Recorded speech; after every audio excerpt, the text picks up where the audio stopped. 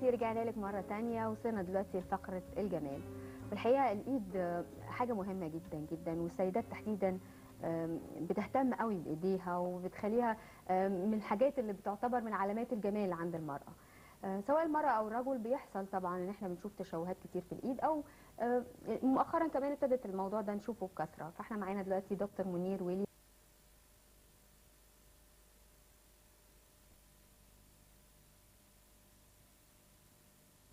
و- وأنواعها كمان تحديدا الحقيقة إحنا من خلال سيدتي هنبتدي نعمل مجموعة من الحلقات عن التشوهات الخلقية اللي ممكن تصيب أطفالنا. فدي مجموعة كبيرة ومن خلالها هنبين إن جراحات التجميل مش أساسا من الناحية الجمالية بس ولكن أيضا من الناحية الوظيفية. لأن الحقيقة التشوهات الخلقية دي جراحات التجميل بتلعب فيها دور كبير جدا جدا بالنسبة للعلاج. بداية من أسباب التشوهات الخلقية بصفة عامة وتشوهات الإيدين بصفة خاصة ففي مجموعة كبيرة من الأسباب. على سبيل المثال زواج الأقارب. لو لقينا في تشوه خلقي موجود في أحد الوالدين فنسبة حدوث التشوهات الخلقية في الأبناء بتكون نسبة عالية. وده بيكون من الأسباب الأساسية. وفي أمراض بتشخص. بتبقى في بعض السندرومات أو مجموعة الأمراض الموجودة بيبقى في من ضمنها دي ماشية في العائلة الفلانية ومن ضمن التشوهات الموجودة فيها التشوه المعين اللي موجود في الإيد بطريقة معينة. دي حاجة. الحاجة الثانية اللي هي اصابه الأم ببعض الأمراض أثناء الحمل مم. وبالذات مرض زي مرض الحصبه الألماني مرض الحصبه الألماني لو أصابت الأم في أول شهر من الحمل ممكن تكون نسبة التشوهات الخلقية عالية جدا تصل إلى حضرتك ذكرت 50% الحقيقة أكتر من مرة بالظبط. الحسبة الأمنية دي واضح آه، إنه من الحاجات الخطيرة جدا الحقيقة جداً. علشان كده برضو يمكن دكاترة الأطفال بيشخ... بيصروا تماما على آه، التطعيمات الخاصة بهذا المرض والمتابعة وحاجات زي كده لو اصابت الحصبه الالمانيه الأم في الشهر الثاني ممكن نسبة التشوهات الخلقية تصل ل 25% ده رقم كبير طبعا. وده رقم كبير قوي يعني لما نلاقي كل أربع حالات فيهم حالة فيها تشوه خلقي دي حاجة كبيرة قوي. مم. الحاجة الثالثة تناول الأم أو الأب بالذات الأم العقاقير أثناء فترة الحمل الحقيقة هنا هنقول إن في ألمانيا بالذات في أواخر الأربعينات من القرن الماضي وأوائل الخمسينات كان في عقار معروف جدا وبقى محرم دوليا دلوقتي اسمه ساليدومايد كان تناولته الأمهات أثناء فترة الحمل. وجدوا ده كان من الحاجات المهدئة والحاجات اللي بتتاخد أثناء يعني المفروض انه مصرح كان وقتها إنه يتاخد فترة تماما تماما تماما وبقول لك شوفي دولة عالية زي ألمانيا آه. وتكنولوجيا عالية جدا. ولكن وجدوا نسبة عالية جدا رهيبة جدا من الشوهات الخلقية في الولاد كانت موجودة في الإيد فقدان أصابع فقدان سلميات فقدان يد بالكامل فقدان ساعد فقدان ذراع كامل.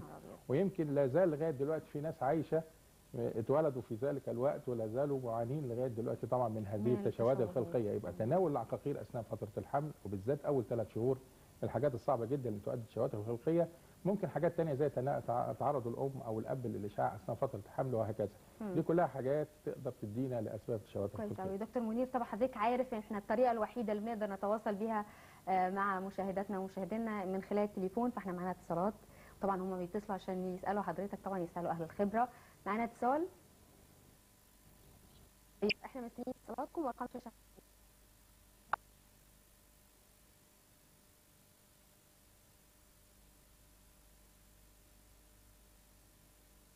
حضرتك بتقول الصباع ال- ال- الصوابع المتضخمة.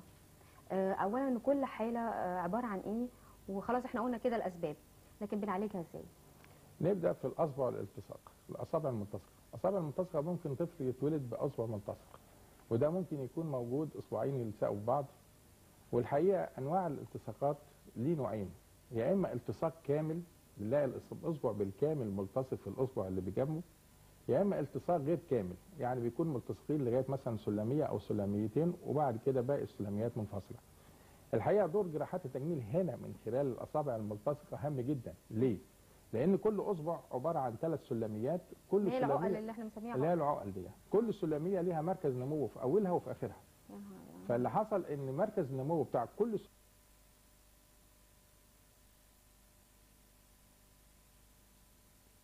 فلو تخيلنا إن أسبوعين التصقوا هنلاقي نمو أصبع غير نمو الأصبع الثاني فتكون النتيجة إن الأصبع يبتدي يميل الأصبع الأطول يبتدي يميل إلى ناحية الأصبع الاقصر كأنه بيشده أو بيحدد من نموه. فهنا دور جراحات التجميل مجرد ما بنلاقي طفل عنده التصاق كامل للأصابع لابد من إجراء العملية في الحال حتى لو كان. حديث الولادة. لأن هنا بنخلي حركة اليد اليد أهم حاجة في جسم الإنسان. هيحصل تشوهات تانية نتيجة لده. بالظبط. هيبقى عندي لو سبت الطفل لغاية لما يكبر شوية هيكون عندي تشوهين تشوه في الالتصاق وتشوه في نمو الأصبع نفسه اللي ابتدى يتحرك بحركة غير سليمة أو يبقى فيه اعوجاج بطريقة معينة فيحتاج أكتر من عملية. إنما في البداية لو لحقت هذا. الطفل بمجرد إن أنا أشوف الالتصاق يبقى في انفصال كامل بالنسبة دي. طيب ال ال الإصبع الزيادة أو لما يبقى فيه صباع زيادة؟ تماما. أنا برضو سعيد معاك إن إحنا بنتكلم في هذا الكلام. الإصبع الزائد ده حاجة من حاجتين. يا إما إصبع نوعين. النوع الأولاني إصبع زائد كامل النمو. كامل النمو ملتصق بالكامل جنب الأصبع الخنصر. حضرتك قصدك كامل النمو يعني بعظم ب- بعظم. من بالظبط من العظم من العضلات من ال- الاوعيه من الشرايين من الأعصاب وهكذا وملتصق بالكامل. آه. ده نوع. النوع الثاني أصبع غير مكتمل النمو رخو ويدوب ملتصق في الإيد بقطع رخوة من الجلد. كويس فهم نوعين زي ما إحنا بنقول. النوع الأول. اللي هو الأصبع الكامل النمو. لابد من جراحة تجميل إن يتم استئصال كامل لهذا بمجرد اكتشاف الحالة مم. إنما الأصبع الرخو ده ممكن يتم استئصاله في أي وقت من الأوقات. والحقيقة إحنا بنفاجئ دايما بالتقاليد والعادات في بعض الناس ويقول لك ده يعني نسيبه علشان ده وبتاع؟ آه بالظبط كده زي موجود فبتكون النتيجة إن بيعوق كثير جدا من طبعا حركة أكيد أداء الطفل ده الايد مش هيبقى تمام. وبيبقى الأداء بتاعها مش بالدرجة الكاملة النمو بهذا الكلام طيب دكتور مي هنتكلم دلوقتي كمان على المتضخمة بس الأصابع المتضخمة بس معانا هند على التليفون هند اتفضلي يا هند. ألو؟ أيوه. أيوه مساء الخير. مساء النور يا هند. آه بعد إذنك ممكن اكلم الدكتور؟ معاكي دكتور منير اتفضلي. الأول بس أنا عايزة أشكرك على البرنامج آه، بصراحة بجد انت تحفة جدا. حياتي ربنا يخليكي يا هنودة. آه أكلم الدكتور بقى؟ معاكي طبعا. اتفضل مساء الخير يا دكتور. مساء الخير أهلا وسهلا. اتفضل معلش أنا كان عندي استفسار صغير بس آه عن الهالات السوداء. أنا حوالين عيني دايما بيبقى فيه هالات سوداء كده. فعايزة أعرف اعالجها إزاي. يا وجربت. موضوع الخيار بس أنا مش مستديمه فيه. وقالوا لي زيت اللوز بس برضه مش متأكدة فقلت أسأل حضرتك يعني.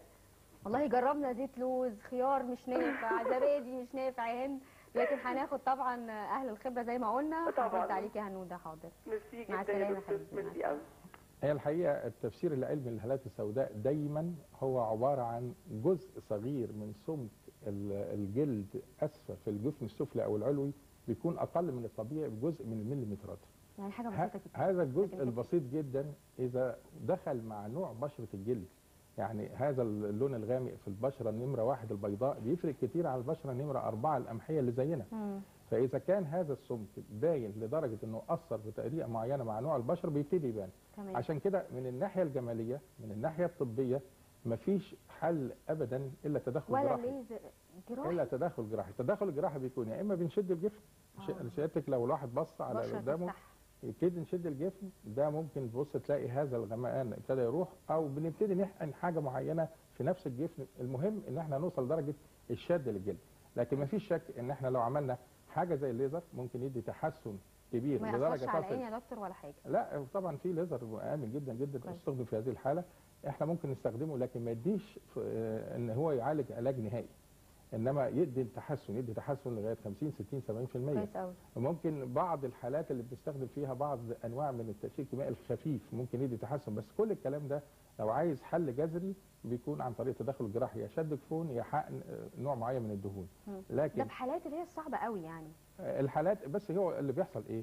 إن في غمقان تحت العين وبعدين بيزيد بالإضاءة الزيادة بالإجهاد بالسهر بالتدخين بالكحوليات والحاجات دي كلها فبتبان الحالة أكتر. واخدة بالك مع حل والحركة اللي موجودة في هذا العصر فبقت مشكلة كبيرة بقت مم. مشكلة بنلاقيها كتير خالص خالص إنما هي دايما الحاجات اللي إحنا بنقول عليها اللي هي بعض انواع معين من الماسكات آه، بنحاول نريح الجفون بطريقة معينة بنحاول ناخد بعض الأدوية اللي هي تساعد آه، البشرة بنخلي في تغذيتنا فيتامين ا الموجود في الخضروات بنسبة عالية وفيتامين ج الموجود في الفاكهة بنسبة عالية.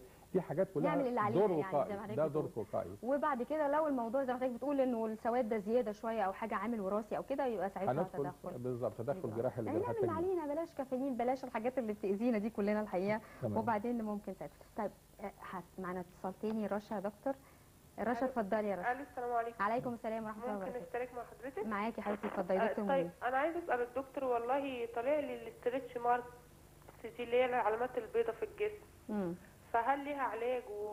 وقد إيه يعني مدته أنت عندك كام إيه؟ سنة الأول؟ أنا عندي حوالي 28 سنة.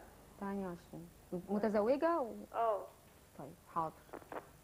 دكتور الحقيقة منير النهاردة مشكلة الحالات- مشكلة عدد كبير من السيدات الحقيقة. بالظبط. هي الموضوع ال stretch marks ده عبارة عن إيه؟ إن الجلد بيمد وي- وينكمش بطريقة معينة. يعني واحدة كانت سمينه خست أو واحدة وقت الولادة وقت الحمل. ابتدى يحصل ترهل وتمدد في عضلات البطن فابتدى يحصل هذه ال stretch marks الحقيقة ال stretch mark في البداية بس أنا عايز أفهم المشاهد حاجة بسيطة قوي إن ربنا خالق في الجلد ألياف إلاستيكية تتشد مرونة. هذه فيها مرونة. إذا هذه الألياف الإلاستيكية اتحولت إلى دبارة إلى تليفت. يبقى ما بقاش فيه الحركة الإلاستيك اللي هي تتشد وتبتدي ترجع في مكانها تاني. هنا بتظهر ال stretch marks. يبقى إذا ده pathology من ناحية الطب ده عبارة عن مرض حصل فيه تغير في طبيعة بعض. مكونات الجلد. كويس. يبقى إذا هنا عشان نقول في حل جذري إحنا بنكذب على الناس. يبقى علشان نتكلم بطريقة ولا عادية. كريمات بقى ولا كلام طول النهار بيسمعوا هنقول الآتي. إيه دور الكريمات؟ دور الكريمات إن ال stretch marks لو كانت فاتحة قوي عن لون الجلد أو غامقه قوي عن لون الجلد الكريم هنا يحاول انه يقاربها من لون الجلد. مم. دي حاجة. الحاجة الثانية في نوع معين من أنواع الليزر ابتدت تدخل وتشتغل على ال stretch marks. بطريقة إيه؟ بطريقة إنها تحاول تقلل من السمك بتاعها. مم. ولكن لا تخفيها تماما. كويس. فيبقى إحنا نقدر نقول إن في بعض أنواع معينة من الكريمات وفي بعض أنواع معينة من أنواع الليزر بتقدر تتعامل مع هذه ال stretch marks. لكن مش هتمحيها لكن بت... لا, لا يوجد. حل نهائي وجذري لل stretch marks. ما نقدرش نقول هذا الكلام. لا يوجد لأن زي ما. قلت لك في تغير في ال pathology نفسه. حاجة كانت استك بقت دباره طبيعتها اتغيرت. فاذا. ده الطبيعة اتغيرت. إحنا نحاول ندي علاج نخليها تقارب للون الجلد سواء كان الجلد غامق نفتحها أو فاتح نغمقها. دي حاجة. الحاجة الثانية نحاول نقلل من سمكها. عن طريق برضه بعض الكريمات الموضعيه أو بعض أنواع معينة من الليزر. انما. عشان نكون امنا ما نقدرش نقول stretch marks في دواء 100% يدي هذا التغير. بالظبط. طب دكتور نكمل موضوعنا تاني ونتكلم عن التشوهات اللي ممكن تصيب اليد ووصلنا للأصابع المتضخمة. آه بالظبط. الحقيقة الإصبع العملاق ده كلام غريب قوي. اسمه العملاق؟ اللي هو ال giant toe هذا ال giant finger أو giant toe بيبقى موجود في الإيد أو موجود في الرجل طبعا. بيحصل إيه؟ في نوعين. في نوع طفل مجرد ما يتولد أحد الأصابع ضخم جدا بالنسبة لباقي الأصابع. وتبقى الأم متضايقة ومتنرفزة وحصلت مشكلة كبيرة جدا. مم. وفي نوع تاني الطفل اصابعه طبيعية خالص وفجأة عند سن معين خمس سنين سبع سنين عشر سنين ابتدى اصبع من الأصابع يبقى ضخم متضخم. مم. فهنا في نوعين. مم. الحقيقة دور جراح التجميل كالآتي. عادة الإصبع اللي بيكون متضخم عند مج... ويكتشف عند ولادة الطفل ده مع مرور وكبر سن الطفل بيبتدي الأصابع كلها تاخد نفس الحجم وبتمشي الأمور كويس. طب كويس قوي فهنا بنقدر ننتظر فترة بالنسبة لهذا النوع من الأصابع. إنما الطفل اللي بيجي له إصبع عملاق وهذا الإصبع العملاق فجأة ظهر ده محتاج إن إحنا نتدخل جراحيا. إذا كان بيؤثر على حركة اليد بيؤثر في الكتابة بيؤثر في الاستيعاب دايما منقبض إلى الداخل يبقى هنا في دور لجراحات التجميل. يا إما بنحاول نصغر من حجم هذا الإصبع بأي طريقة من الطرق ده في حاجات بتوصل لدرجة استئصال هذا الإصبع. لأن في حالات بيبقى في تغير رهيب جدا في حجم الاصبع وتصل إلى هذا الحجم. مم. فعشان كده هي الحكاية محتاجة للتشخيص المبكر وأنهي نوع محتاج متابعة ولا محتاج تدخل جراحي تمام. دكتور منير ويليام كبير جراح التجميل وقت خلص معاك بسرعة. طبعا ما خلصناش الموضوع بس إن شاء الله هنكمله ان شاء الله في حلقات تانية. ميرسي يا دكتور جدا نورتنا شكرا ميرسي جداً. آه، سيدتي معانا فقرة برضو لا تقل أهمية. إحنا آه، بنتكلم دلوقتي عن تجميل اليدين وهو نوع من الجمال بس هو تحايل شوية على القانون يعني مش طبيعي قوي. هو عن طريق الحلي والحقيقة آه، هي فقرة عن فنانة إحنا سميناها فنانة لأنها شغلها بينم عن فن رهيب. آه، عرفت إزاي تحول نظرتها للجمال لأشياء مادية وملموسة. آه، لو شفنا اللي بتقدمه آه، هنحاول نكون زيها أو نعمل زيها لأن هي زي تقولي عارف في في نوع من الإبداع كده يشجع الناس إنها تعمله. هي فنانة مصرية حقيقية بتعمل حلي مصري الهوية. آه، آه، كتاب عربي أو آه، بستعمل قماش كمان عليه موتيفات مصرية وخط مصري. آه، حاجات إن شاء الله هتعجبكم قوي. تعالوا نشوف الفقرة دي ونرجع نكمل الفقره